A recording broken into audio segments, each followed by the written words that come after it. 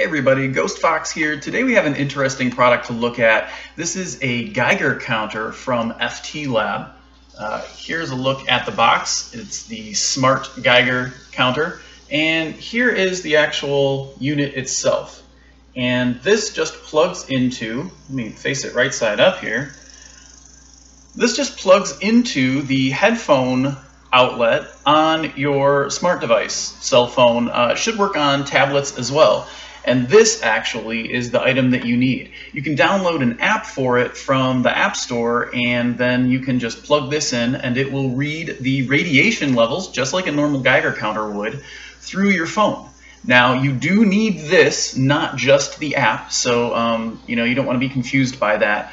But it's actually pretty useful and we'll do a little bit of a demonstration to see exactly how this works.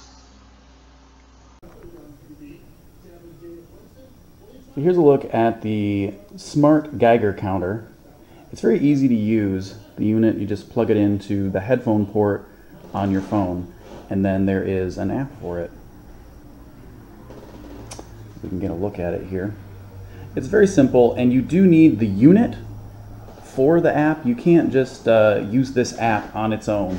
I think some people might have had that misconception, but it's quite easy to use, and I'll do a little demonstration here just kind of standing in the kitchen, press the button, and then it gives you this weighting.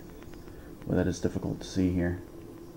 But you can see that it's uh, 0.10 units, which is in the green, and obviously not a lot of radiation.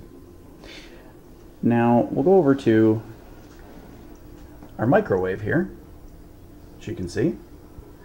And we'll take a look and see what the reading with that is. The microwave is not even on right now.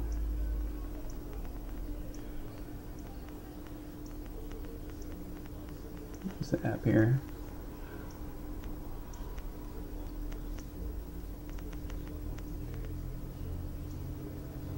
Measuring, okay. Make sure I was doing that right. It takes a few seconds to get the reading on it.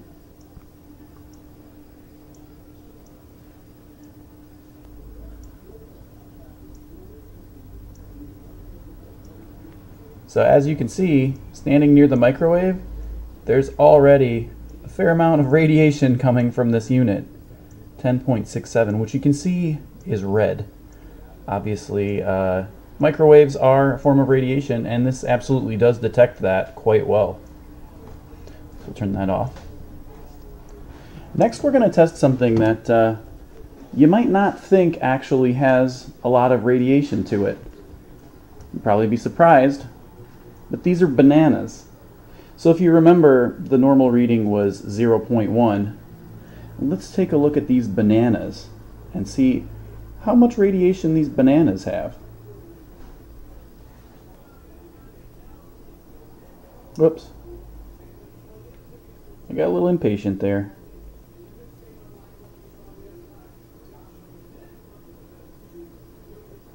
And it could take a few seconds to measure. I mean, you got to be a little bit patient.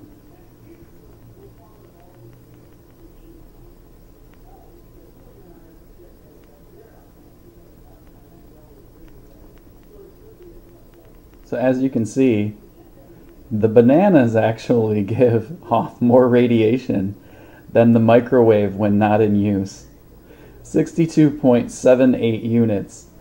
You'd be surprised, but after doing a little bit of research, I found this is actually pretty typical. Bananas are probably the most irradiated item that we have in our household.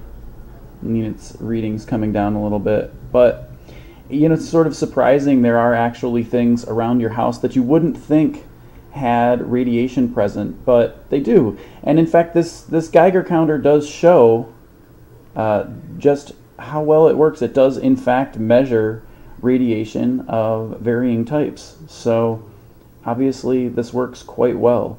And uh, if you have a reason to use it, whether you're concerned about safety or you know just kind of enjoy the tech and like to play around with it, it makes a fun little option.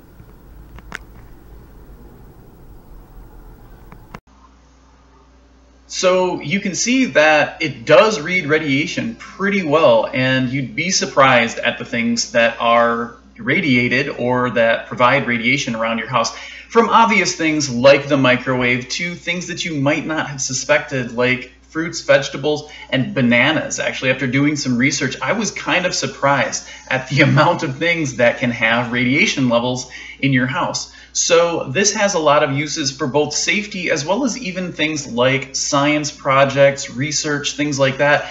I personally think that this would make a very interesting and very fun little research project for um, a student working on things like radiation and studying things like radiation. So whether you are a professional or a hobbyist or just someone interested in safety and radiation, it's a really interesting, neat little tool and it does work really well. Uh, and it's actually not very expensive considering what it can do.